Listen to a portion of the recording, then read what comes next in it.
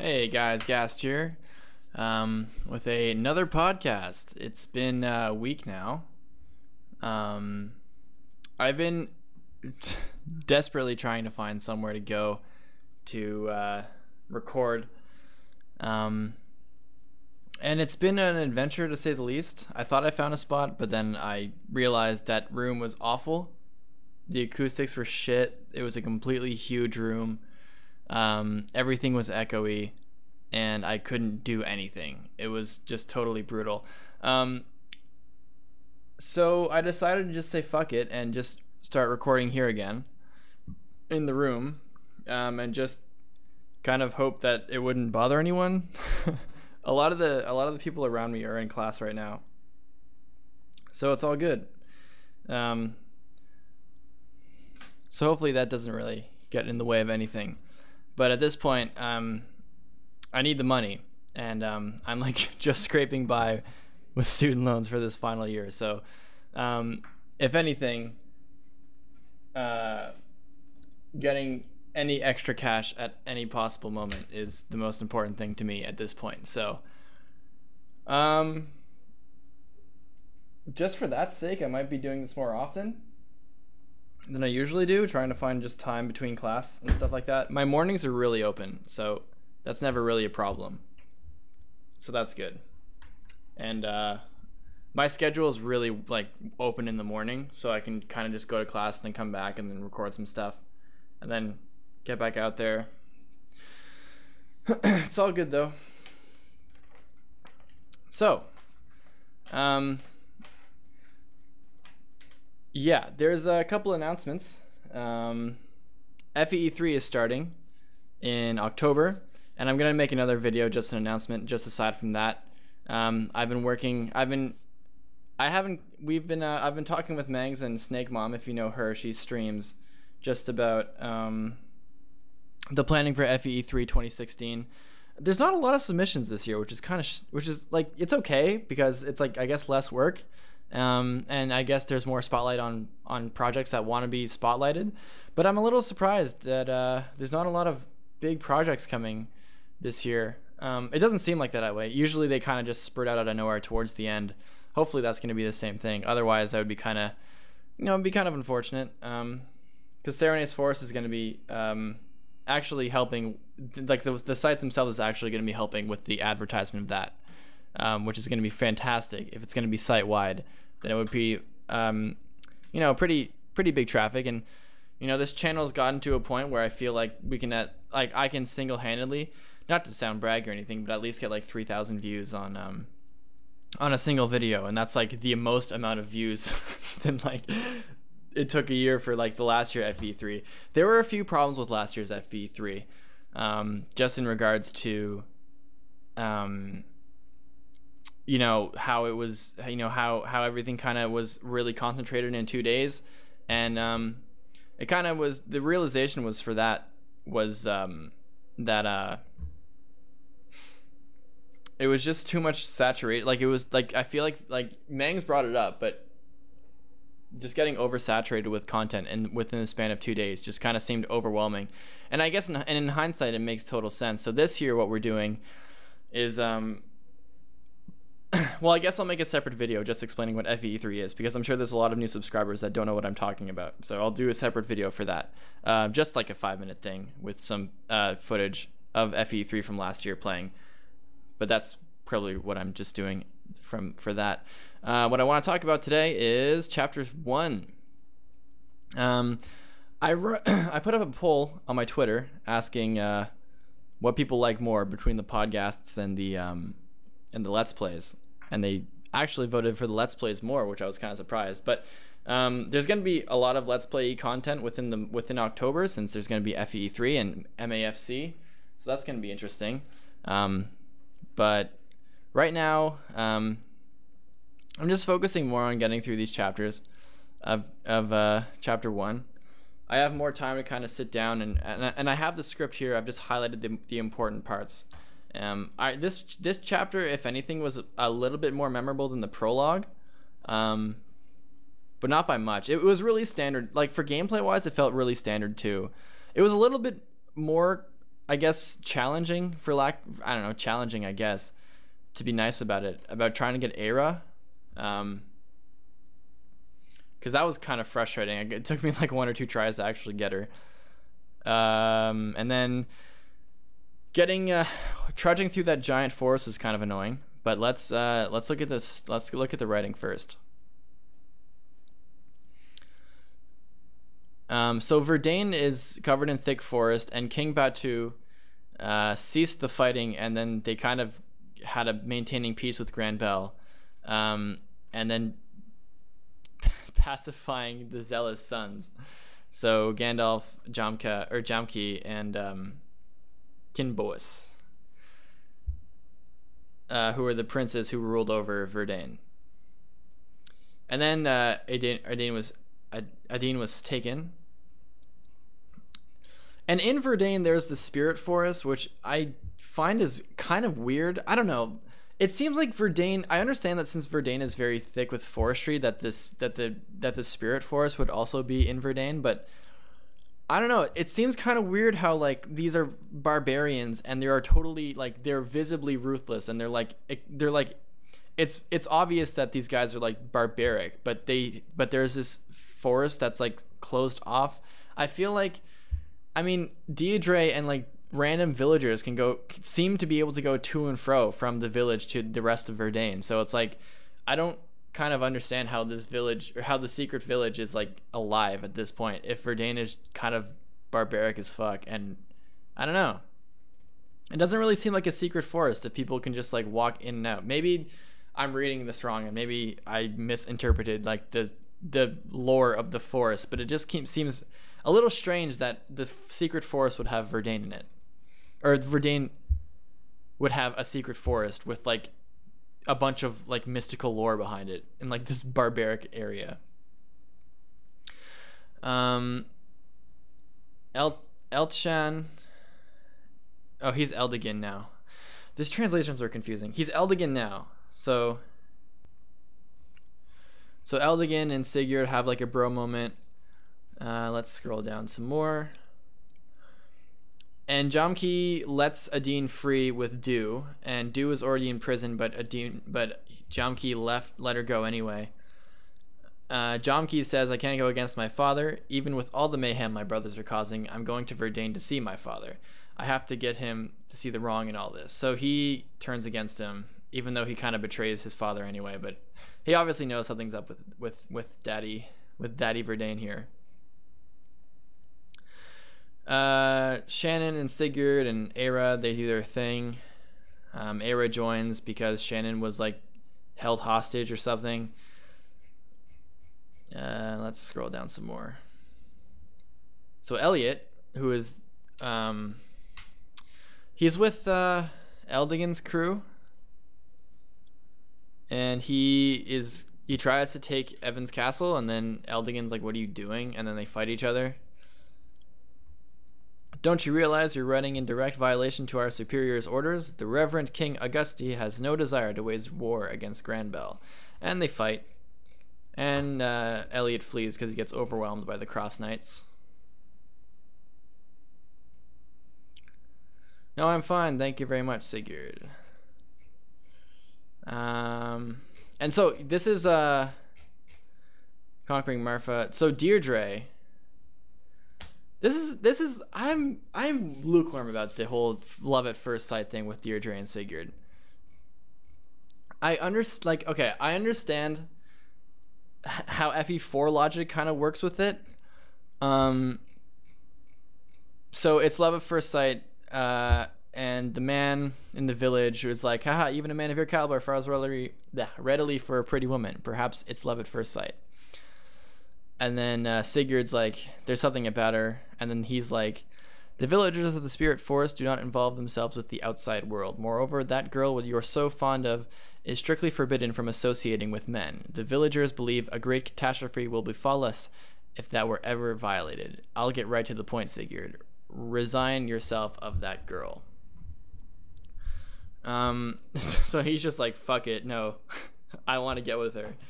Um, so that's what he does.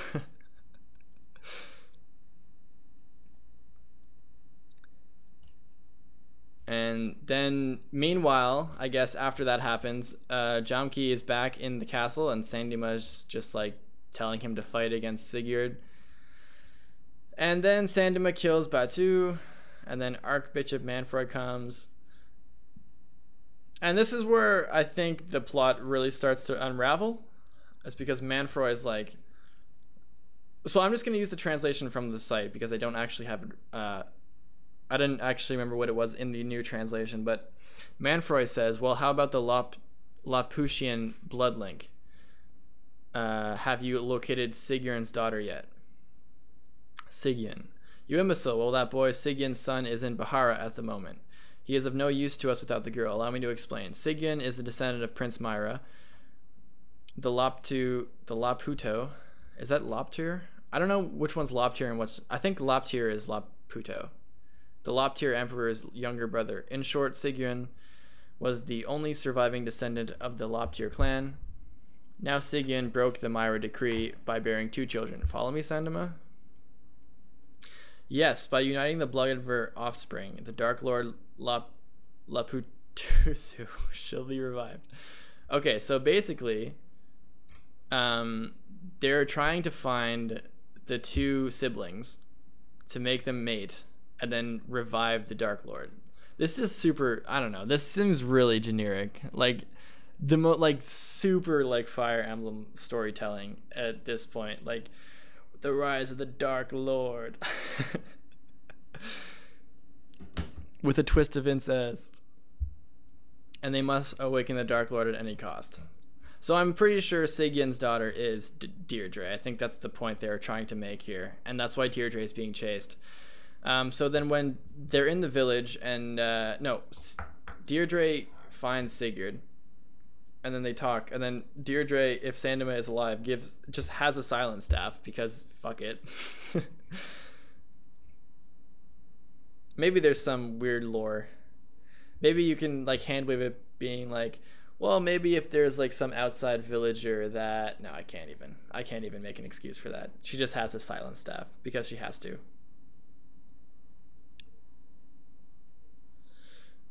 Um, is this when he's if yeah you can p- apparently kill Sandima before Sigurd talks to Deirdre? I didn't know that. I guess. Yeah, I'm not sure how that even works, to be honest. How do you kill Sandima before you get Deirdre? How's that even possible? I don't know. Well, all I know is that it, that the woman who raised me told her on her deathbed. She said there exists a world a religious sect who follow the Dark Lord Laputusu. I can't pronounce that. I'm gonna say Lobt. Fuck it. I'm just gonna say Lobt for now until someone says what it actually is, or if I just reread it in game, which I probably will. The Dark Lord was presumed dead, but they've been secretly planning his resurrection. In secret. The Dark Lord lies dormant with my blood. Here we go. So she's one of the daughters. Through me, through me, they can resurrect him. I was told they must never find me. I am also forbidden to be with a man. Um, so I'm assuming why maybe she's forbidden to be with a guy is not just because it's like a plot thing, but maybe because like if she like has a child and that child is also viable for the resurrection, and that kind of just adds more to like more layers to the issue. So maybe that's why. Um, and then uh, they talk about how they love each other at first sight. So then they fell in love. Um, and I think that's it. And then I missed the event with Lex's axe. I did. I missed that. And the rest is just conversations. Uh, is there an ending event here? No, I think that's pretty much it. They take over. They take Verdane back, and uh, Jom Jomki comes with you, and Adine is here, um, and then they continue on in chapter two. Um, so this is sort of like an unraveling of the story, I suppose and they're kind of giving you like the whole sort of mid like a, a bit of the background of um um the uh the bad guys who are trying to resurrect the thing. So deirdre i suppose i suppose they were looking for the the, the guys because they were looking for the son and they have the and sigurd has the daughter now. Or sorry sigurd yeah sigurd has deirdre now. So i guess that's like kind of bad for them but Sigurd doesn't give a shit. He's like, fuck your the history of your people. I want to bang. And that's what he's doing. It sounds uh, pretty pretty simple and pretty like like um resurrecting the it just seems like a very a very um at, at, right now it seems kind of like a simple a simple story it's like it gives you a really basic backdrop like nothing actually happened yet but i find it kind of i don't know. I, I i don't really have an opinion so far on the story yet. Nothing's really like unraveling or nothing really like extreme or climactic has happened so far so i can't really say anything. Um but i will say that the whole love at first sight thing this is something that I feel like a lot of people have a problem with, and I used to have a problem because I I knew about the the how they fell in love with each other, and for me it's it's not a huge deal because the way I think of FE the way I imagine like FE4 happening is that I think I mentioned this in um, one of the podcasts. Yeah, I did. I might have mentioned it in the in the chapters in the prologue video, but the way I look at FE4 is that one chapter is a huge war. It's it's you know like chapter one is in Verdane. It's taking over all of it's fighting all of Verdane. Um, and so that doesn't take place over the span of an hour. It takes place over potentially days, um, and you know if you days to weeks, um, stuff like that. And it doesn't really come off like that because it's just a streamlined kind of experience. And there's a lot of time skips that are just implied that happen. Um, nothing happens sort of directly after another. Like every time you conquer a castle, I imagine you know there's this a time skip between months and months before something else happens. They just kind of gloss over it, um, and they just kind of keep going.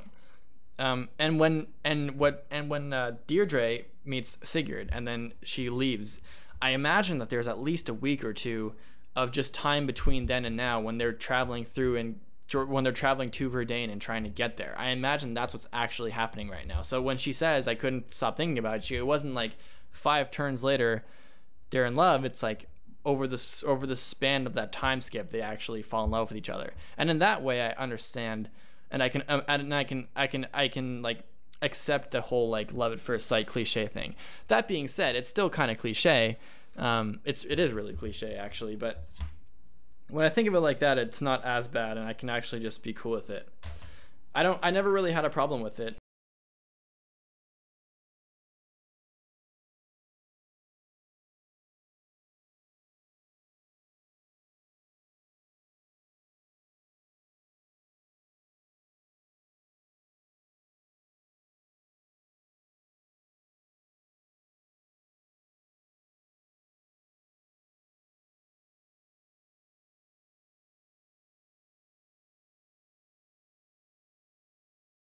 And stuff happened, which is nice. But in terms of gameplay, it was sort of similar, but it was kind of bullshit at some points, in my opinion. The first part, um, when you're actually learning about, um, oh, I can actually, uh, can I actually just place this here? There's the, uh, I I have like dimensions on the recording, and I want to see if I can actually just like have the map. That would be cool. That would be a nice way of actually doing this. If I can just adjust the thing here. Can I turn this status bar? Uh, does that work? Oh, sweet. Does it? Hey, um, not quite. If I just do this. Oh, now it's way too small. Oh, I don't know if I can do this. Okay, I'm gonna try to Oh, here's the problem. If I go like that, um, and I go like this, this is gonna look really weird.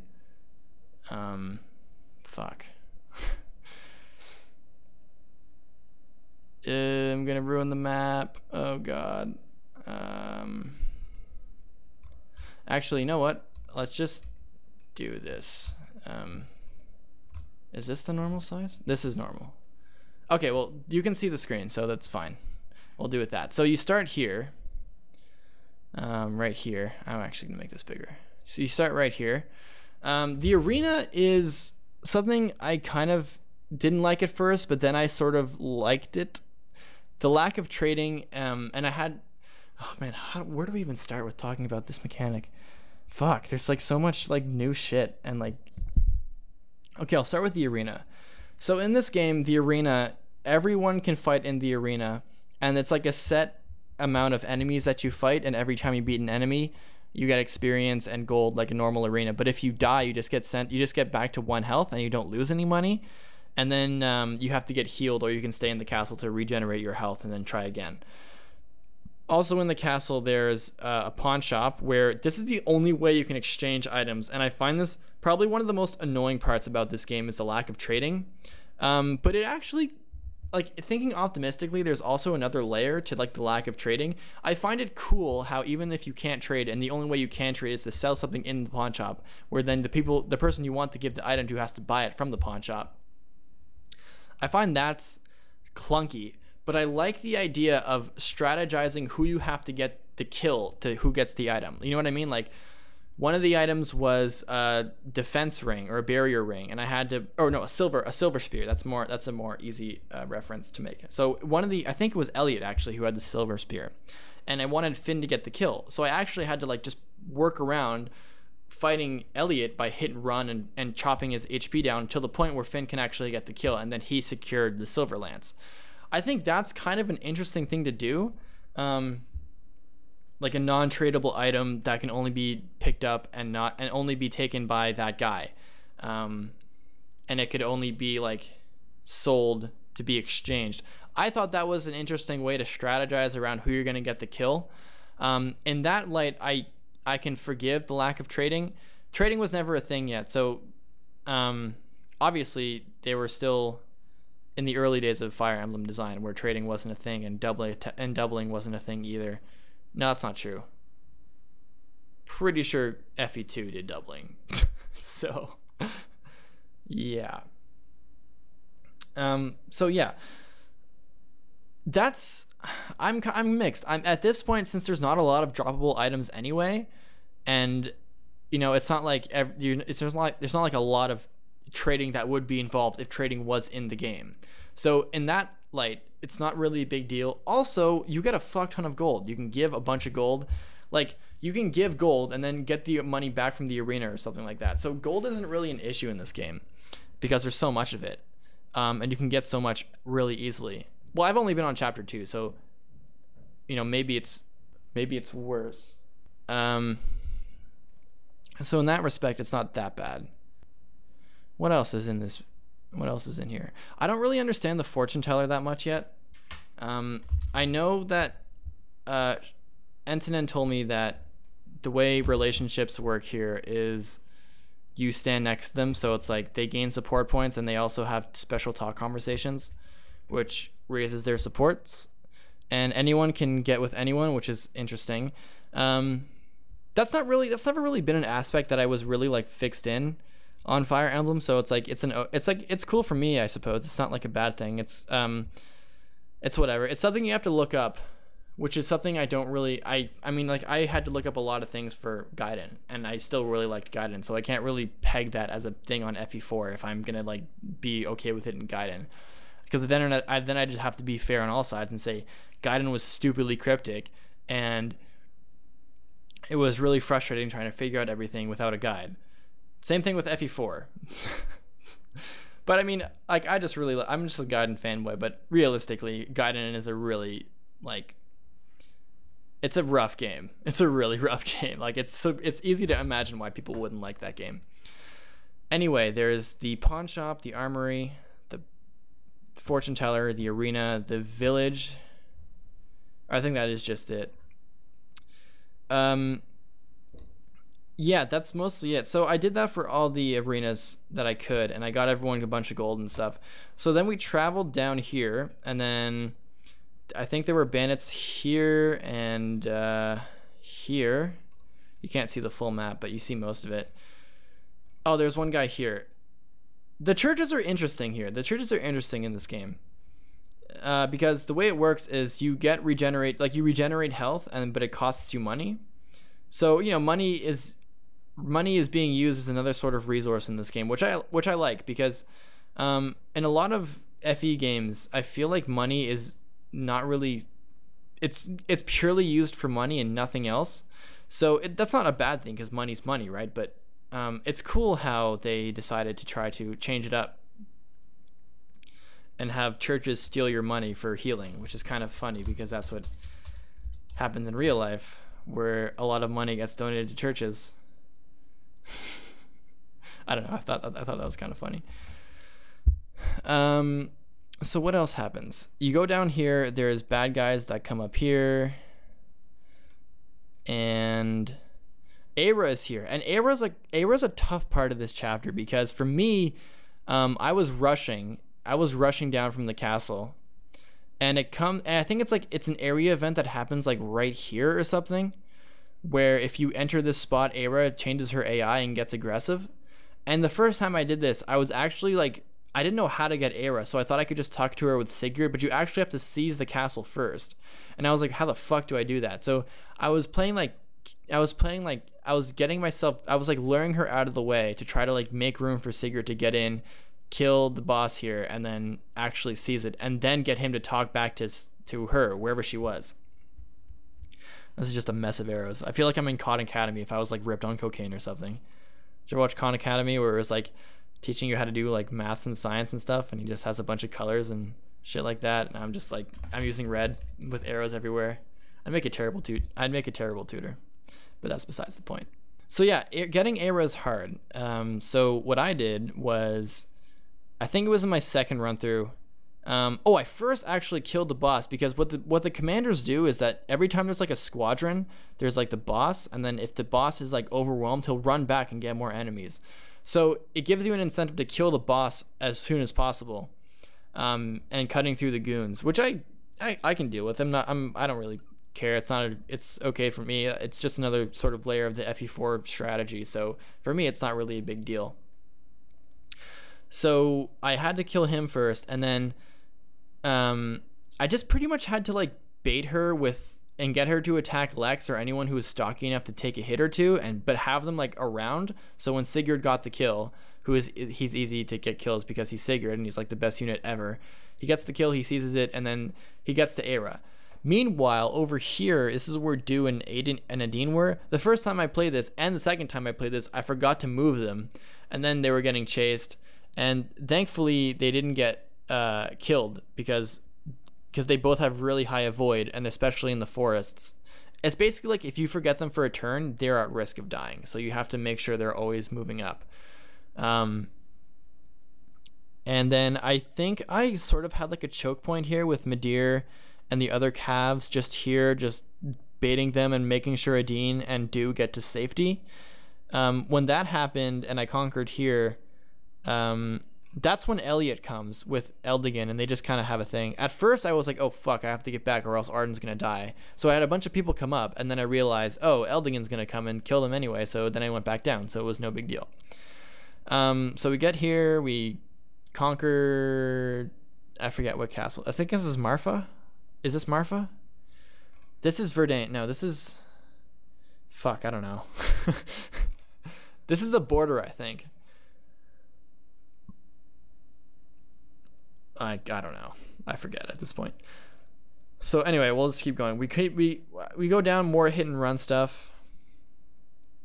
Um, the I, I, I, I like the strategy of hit and run. I just it's just the thing about FE4 is that I, I I'm the kind of player who like wants to sit down and get as much as he can done in like a single sitting, but FE4 is is designed in a way that you don't want to do that. So it's hard to me. It's hard for me to like get motivated to play FE4 just because it feels like I'm discouraged to play based on my playstyle, which is literally just binge playing until I get physically exhausted and I actually can't go on, not because I get bored. The thing is with FE4 is that I'm getting like I, I find times where I get bored and I just don't want to play.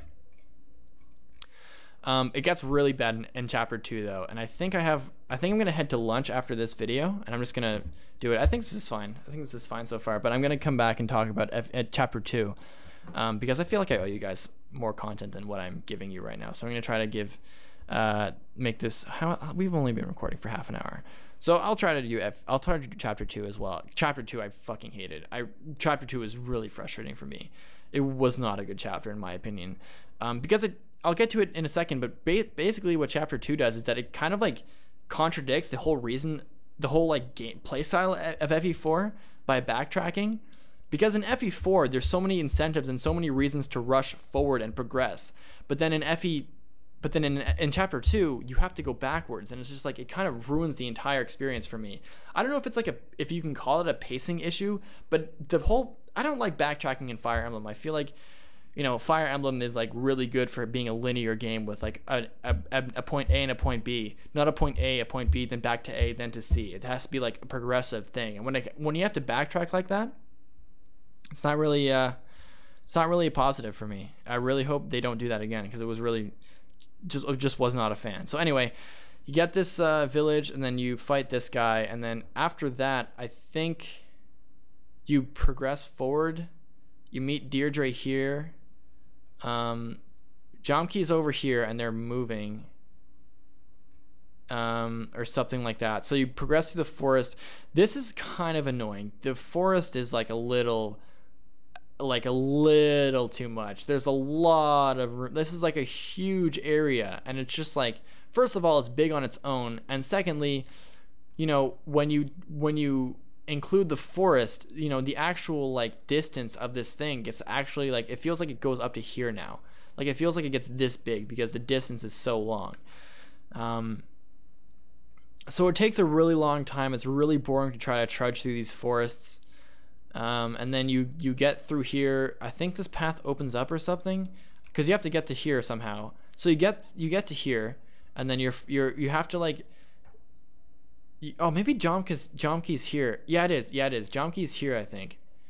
And then you kind of talk to him with Sigurd or Adine or something. And then yeah, it is Adine. And then you fight the Ver- Verdanites here. And then here is where Sandima's big like spell thing is. Like here. and then Deirdre gives you the silent staff and basically, it's just trying to find a good spot to use the silence, then just rush in and kill Sandima, which is really easy to do. Um, and then that's pretty much the chapter. You, yeah. Um, I didn't find this chapter like anything special, to be honest. It was chapter one. You don't really expect chapter ones to be anything special to begin with.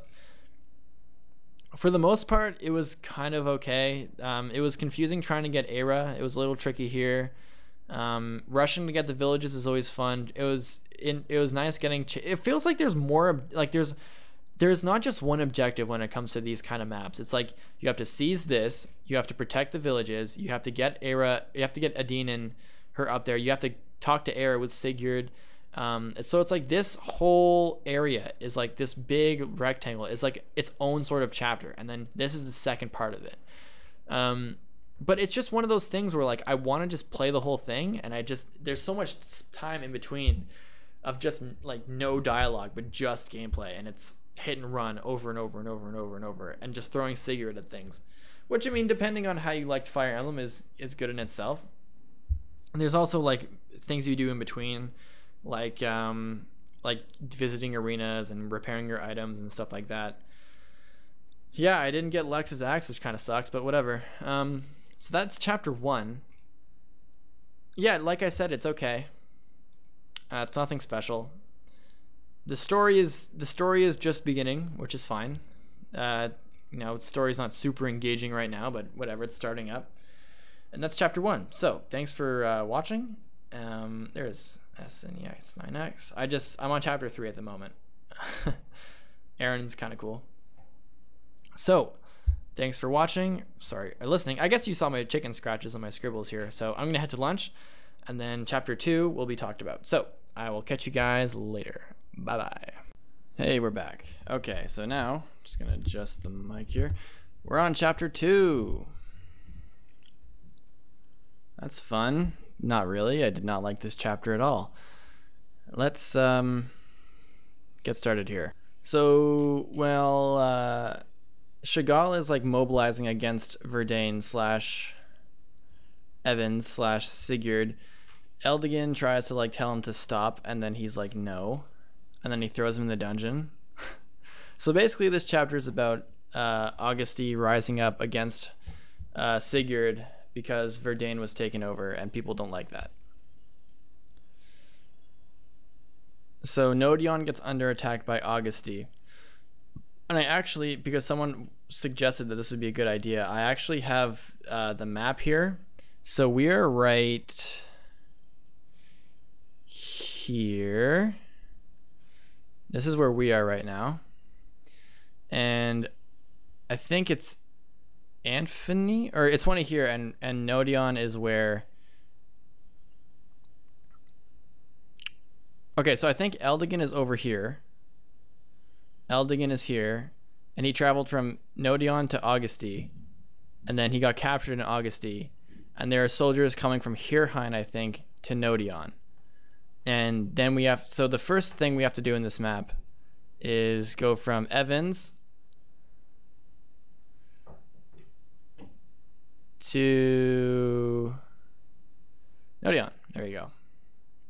Where Lachesis is. So let's read the script here.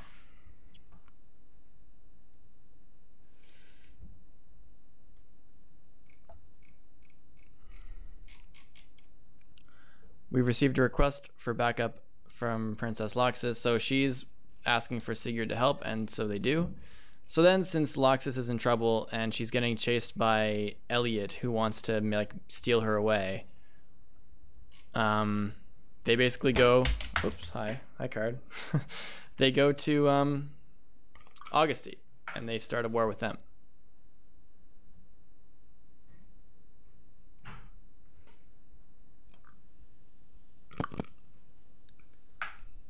Um,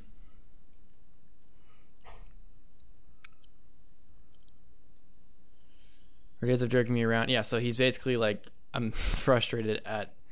It seems like uh, Elliot's a huge beta because Elliot got owned by Eldo- Eldigan, and now he's he, now he's gonna get owned by Lachesis, or he wants to own Lachesis, both literally and figuratively.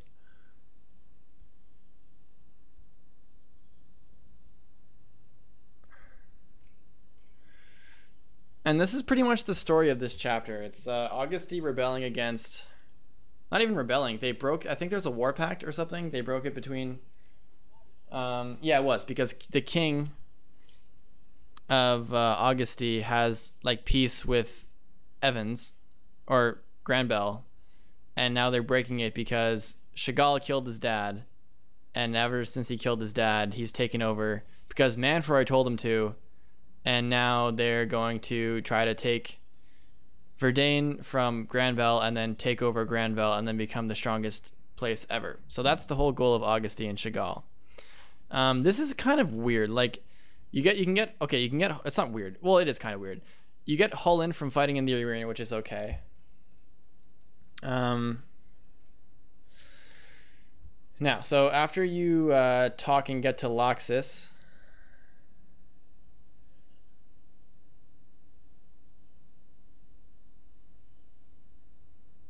So she pleads for Eldigan to be rescued by Sigurd, so he does that. Um, and then Sigurd's like, I usually try to keep our troops off foreign soil, but this time it's unavoidable. I've already at received King Azmur's approval to engage the enemy.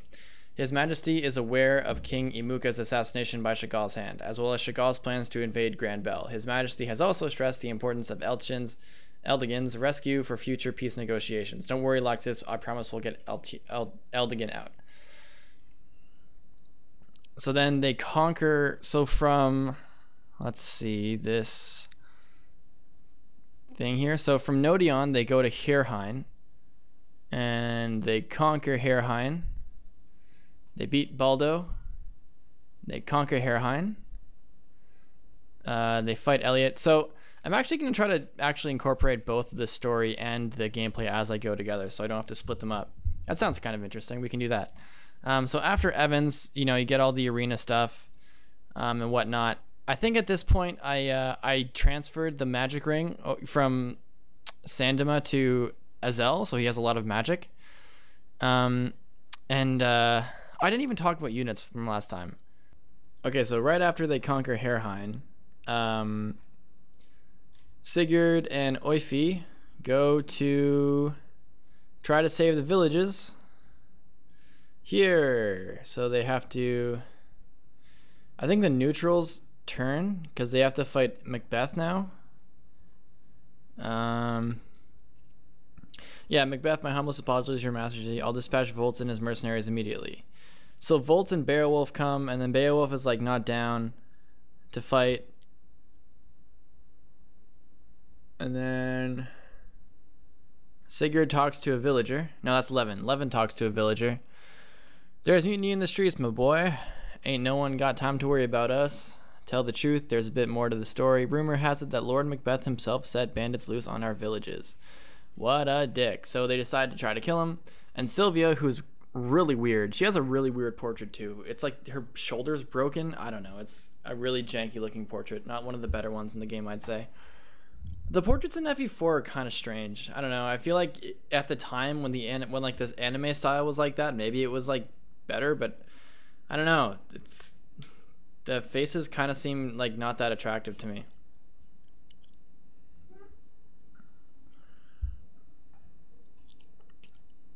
Maybe it's because they're cut off and they can only show the face. I'm not really sure. It seems kind of samey too. I don't know if anyone got that similar vibe. And Sylvia's like, yeah, I like it rough, which is just weird. Sylvia's the weird character. It's kind of just weird writing in general, in my opinion.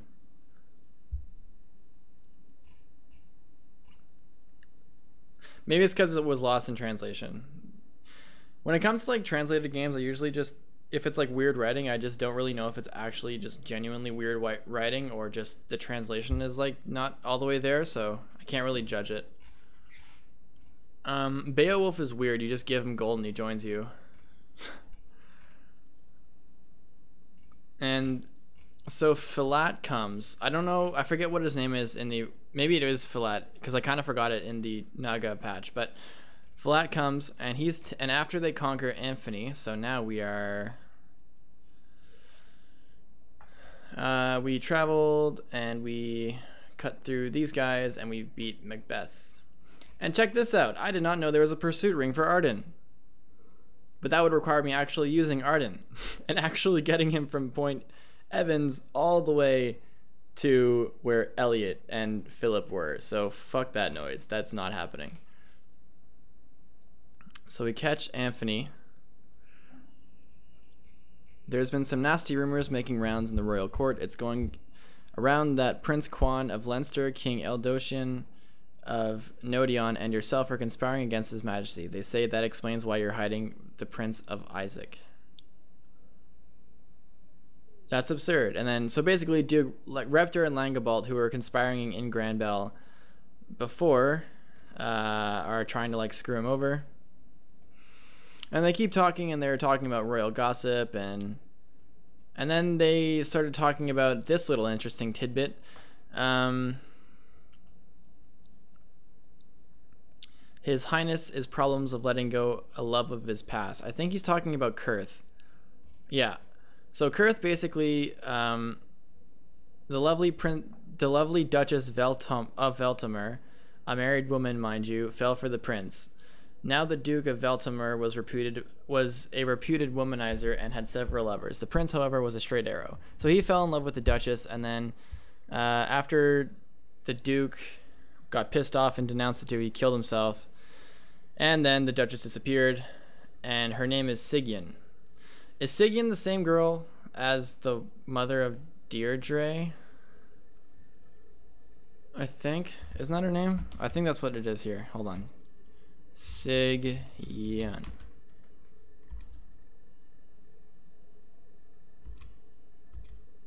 Yeah, I think Sigyn is okay. So Sigyn, hold on. What? I'm I'm confused here. The Duchess would have been Lord Alvis's mother, correct? So the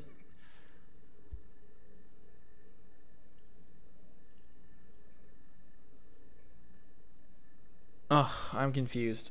So Prince Kurth fell in love with the Duchess, who had a child with the Duke of Velthomer, who's the father of Al who's the father of Alvis?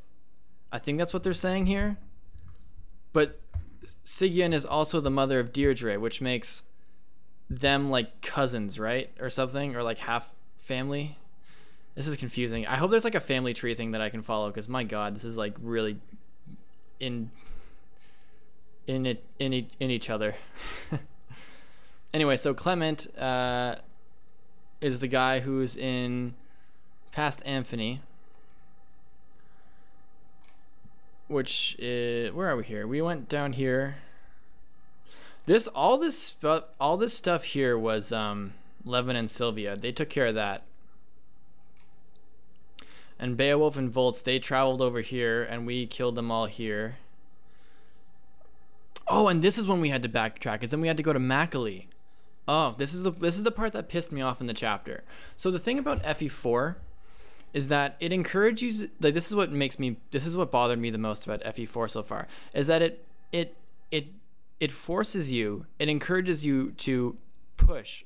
Like these maps are like huge right? But they but the incentive is to push as fast as you can over and, and get each objective as fast as possible. Um which is you know it's it's a good way to balance these giant maps and that's why you have a bunch of force units that can do hit and run. You can just rush and rush and rush as fast as you can.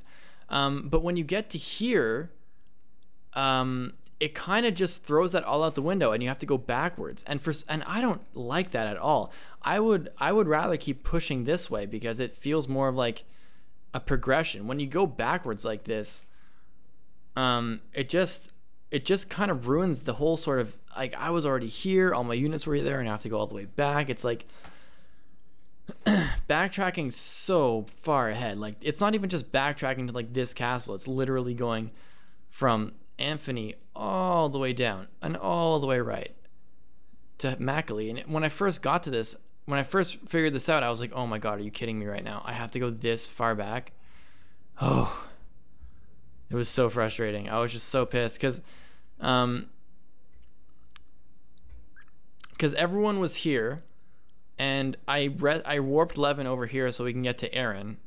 Um, oh, and then oh, the NPCs are stupid as fuck in this game as per usual. Um, yeah, NPCs are just dumb, man. They're dumb in every game. So I so I was around here. No, I got to here, and then Aaron came from here, or she's Fury in this patch and so came all she was she was coming down so i warped levin over here and i had him like right here and then they the the, the fucking the pegasus knights who are trying to get to levin and trying to rescue levin just killed levin. And i was like what the fuck? I was so mad. Like apparently aaron doesn't fight. Like aaron doesn't fight levin but her her her allies do. It makes no sense. It's really frustrating. So that was annoying. Anyway, so when he's warped there, I just kind of left him there. It was him, Aaron, Deirdre, and like Azel, I think. I think I had Azel trying to push up here. But that was pretty much it. So I had to backtrack here. Sylvia didn't really do much because, well, no, she hurt. Uh, no, she did actually a lot. Because when we got to here, when we got to Mackily, this is the part that really started to frustrate me. Um, after the after this, because here um, this guy, like Clement, has a sleep. He has a sleep staff, and on top of that, there's these ballista guys who you can't reach at all, and you can't really use Aaron because a she's down here, and b she's a flyer, so she'll get owned anyway. And there's no rescuing in this game, which is really frustrating. Here, yeah, here's the here here's my issue is that I was trying to like weirdly bait, and I guess this is when Sylvia gets really useful because as a dancer, she doesn't like she doesn't dance on specific units. She actually has a central dance where every it's like a it's like everyone like any four units that aren't status like that aren't slept can get rejuvenated. So that was really useful. Um, so we get through here, um, and the ballista are kind of frustrating. I had I think I had Jamke and Midir and like Finn, who's just becoming a god at this point. Finn is becoming a monster. Um, and they're kind of going through here. And you know what? I could probably just start playing the fucking game. I literally could just do it at this point. I don't know. Maybe maybe I'll see if Kyle's around and he can come with and, and play with me. But LPing is just such a hassle. I don't think I have the mindset for it to LP. Um, it's just hard to do. But yeah, so these so these fucking guys are just teasing you, and it's like it's not a big deal, but you don't really know how to kill them, and then you kill Clement, and then they disappear. So they just vanish. Um, I'd rather have I'd rather be able to fight them somehow. Um, I think it would be interesting if you could loop if this tree was gone and you could loop around here. I think that would be fun. Just because like it's extra experience and it's kind of it'd be kind of like nice to take those guys out. It's kind of unf- it, it is it's just unfair how they're able to just pelt at you and they cannot be stopped at all. So I get what they were doing with like the whole uh, like un, un unkillable threat thing, but I don't know. It just seems kind of bullshit. It was kind of like a bullshit thing to have, um, you know, ballista guys and a sleep guy. It was like pretty brutal, but it wasn't a huge deal. The sleep didn't really do much, and I did have a silence. But the thing is, the Deirdre was down here, and I was not about to get her up there. So it was mostly just dancing and then getting them over. I think Midir died like fucking three times. I had a I had a save state, and I was just like, oh my god, Midir, could you stop dying, please? Because he kept dying every single time. Um, so let's see what the text was after we fought. Um, yeah, Fury is Aaron in this game. Or did, did, that just seems like two really huge differences in translations, like real big. Um, so then Levin talks with Aaron, and then they do whatever. They chat. Conquering Mackily. Mackily is no longer a problem. My next stop is the capital, Augusti. And then Chagall and Manfroy like dispute with each other, and then uh, and then Chagall. I think we fight. We fought Chagall in this chapter, right? Yeah, Chagall is the big boss. So we fought him. And then the, a dark mage talks to Manfroy and says Prince Kurth got got assassinated. Prince Kurth got assassinated. assassinated. Uh, and then so they say it's interesting. So here's the interesting part. Of course he did. Uh, has Alvis consented to your proposal? Of course he did. He's got Lop Tusu blood flowing in his veins, and if that ever got out, they would burn him at the stake for being of Loptian descent. I just wonder if someone as arrogant as Alvis can keep quiet. So he is uh, this. He would get burned at the stake, and he is apparently really important to the Loptyr resurrection thing. And then the Dark Mage is continuing his plotting with, all right, next we betray the king once you become emperor. To resurrect Lord Lop, Lop, we'll need not only Alvis but also that woman's daughter, which I'm assuming is Deirdre. I'm assuming Deirdre is here. Um, I I think they need to kill. Is Alvis and Deirdre siblings? Is that what's going on here? I think that's what they're trying to. Yeah, I feel like is that what they're trying to do? Like they're trying to set up. And every time you lose Deirdre, you just like get her back because she's super important to the story. Um, and if you keep Eve Eva and Alva alive, you get a knight ring.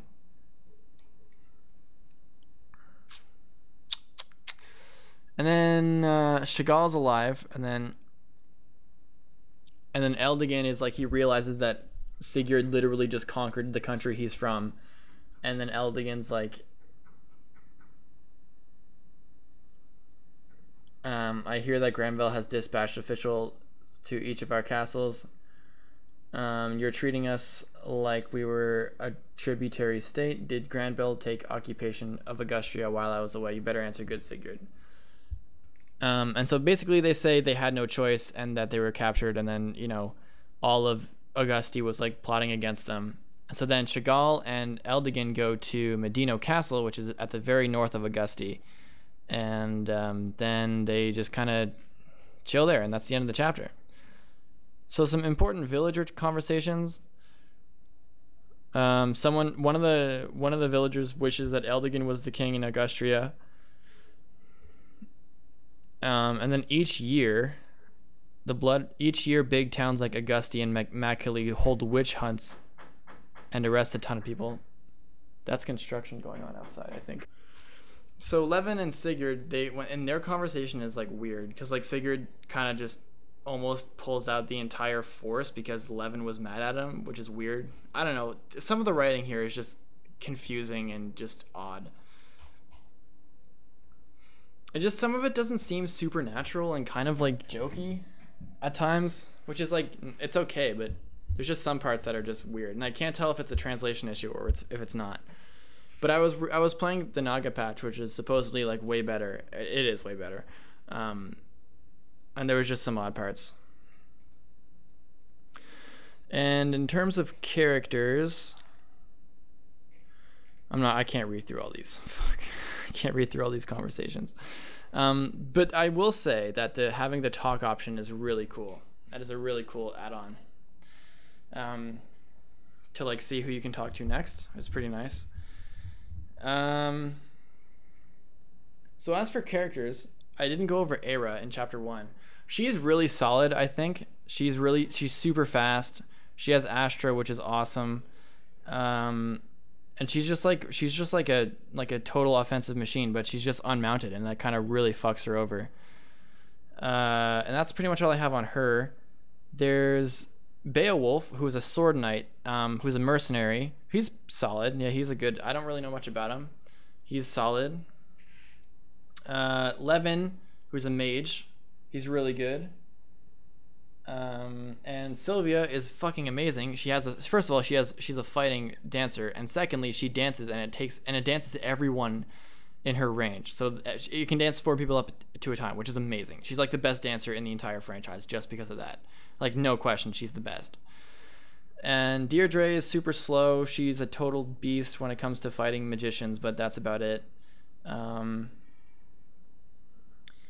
and uh, Hullen, who's the mercenary you fight in the chapter two arena, he is decent, I guess. I mean, you don't you don't you can deploy anyone you want in this game, so it's not really a big deal. He just seems kind of random, just kind of in there. Uh, but whatever, it is what it is. Actually, does he have conversations with people? He probably should. Here we go. Beating Hullen in the arena. Uh, let's just look at Hullen in the script here. Hullen. Nope, it's just he's just some random arena fighter, so okay. and let's see where we are in the map here. So in the in the thing we we fought we fought Herhin, Mackily, Anphony, Augusti. We didn't we didn't do Silvail or Madino, so that's what's happening next time in the third chapter, I think. And yeah, that's uh that's it. That's chapter two. Hmm. So yeah, the reason I just don't like this chapter is that you have to backtrack, and I just don't like that. There's some bullshit parts where you have to, you know, deal with sort of impossible to kill enemies, which is not a huge issue. It's just kind of annoying. Um, I didn't get the pursuit ring with Arden because I always leave Arden at the castle. Uh, oh, Lachesis. She's actually a really solid character too. She's another healer, which is great. Finn is turning into a monster. Um, I gave him the Paragon thing so he gets more experience and a Silver Lance, and he's just getting great. He's just becoming fantastic. And in this map, I think it was Baldo who gives you the the the plus five she the plus five uh, defense ring, and I accidentally gave that to uh, Quan. So now Quan's just a total like he's a turtle. He, he he's a he's a wall. He's a he's a mounted wall. And Aaron, who's I guess she Erin's solid. The Pegasus Knight map sprite is really weird, but she's a solid unit. I don't really mind uh, her. She she'll be useful, right? A flyer is always nice. But yeah, um, that's that's it for me in chapter two. Whew, I am fucking. It's hot in this room. But that was chapter two. Uh, so we cover chapter one and two in this uh, podcast. I'm gonna see what happens. I'm gonna try to record chapter three and see how that goes. See if uh, Kyle's around or anyone's around, because I think that'd be kind of fun to record again just to see. Do some. Uh, I'm actually just talking out my ass. I might not do it now. I'm just doodling on the map. Anyways, uh, I'm gassed. If you like this video, please leave a like and comment and